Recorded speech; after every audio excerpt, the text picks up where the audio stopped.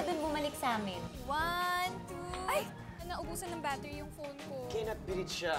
La, May super kabado saan nga uli yung cafe kung saan mag-interview si Nikki? Magsaspy ka, no? at may super stricto. Please, let me explain. Enough!